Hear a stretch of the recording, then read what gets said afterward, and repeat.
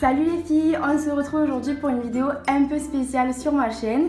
Donc comme vous le voyez, on a une invitée. Salut, salut Donc, Moi c'est Steph. Voilà, c'est Stéphanie, moi c'est Jessica comme vous le savez. Et aujourd'hui on se retrouve pour un tuto burette graduée. C'est ça.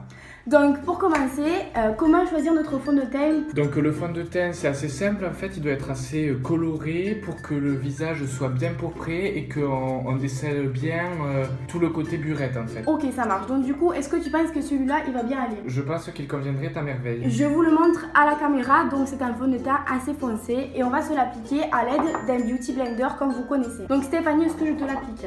Ben allons-y, hein, C'est parti. Donc vous appliquez le fond de teint avec le, bou- avec le Beauty Blender en appliquant comme ceci, en tapotant sur le visage. Non mais c'est vrai que tu conseilles aux gens de pas être très patient mais quand même le matin il faut savoir prendre son temps pour euh, se faire sa beauté. hein. C'est vrai, c'est vrai. Donc Stéphanie en est à l'étape du fond de teint. Comme on le voit, la démarcation est très importante.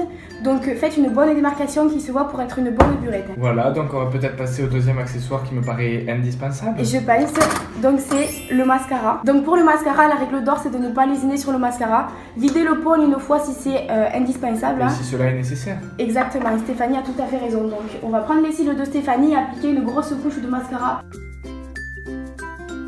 Troisième étape, Un accessoire euh, qui pourra peut-être faire la différence. hein. je suis d'accord, il s'agit d'une poudre rose. Mais quand je vous dis rose, c'est un magnifique rose que l'on va appliquer sur la paupière mobile. Tu l'as trouvé où? Je l'ai trouvé chez Kiko, c'est un pigment rose très important. Regardez comme il est beau, sa belle couleur. Et donc on va appliquer ça sur la paupière mobile de Stéphanie. Stéphanie, donne-moi ta paupière. Tiens. Donc, euh, on va passer à la quatrième étape. Il s'agit des sourcils, parce qu'une bonne burette a des sourcils très voyants. Donc, pour ceci, on va appliquer un fard à paupières très foncé de type noir sur le sourcil entier. Stéphanie, est-ce que tu es d'accord? Je suis tout à fait d'accord. Vous le voyez, Stéphanie ressemble de plus en plus à une vraie burette. Cependant, ce tuto concerne les burettes graduées. Je suis d'accord. Alors comment est-ce qu'on va faire? On va se graduer à l'aide d'eyeliner pour faire du coup des graduations sur le côté. Est-ce que tu veux qu'on passe directement à la graduation? Je pense que cela me paraît euh, être une, une bonne idée, oui. Donc vous prenez un liner de type eyeliner comme ceci. On va l'appliquer sur les joues avec délicatesse.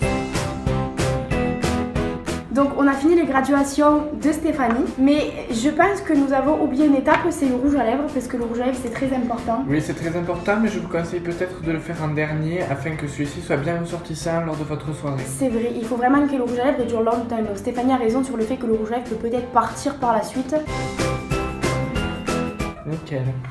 Voilà Stéphanie, et je pense qu'on est pas mal sur le rendu. Oui, je vais peut-être me regarder. Oui. Oui, le rendu final est sympa. Les graduations euh, feront certainement de vous euh, la tigresse de vos soirées. Je suis d'accord. Donc merci à tous pour avoir regardé ce tuto. On se retrouve bientôt pour de nouvelles vidéos. Bisous, bisous. Bisous et n'oubliez pas de liker, lâcher des commentaires et nous suivre sur nos réseaux sociaux Insta Chimiste. Gros bisous les filles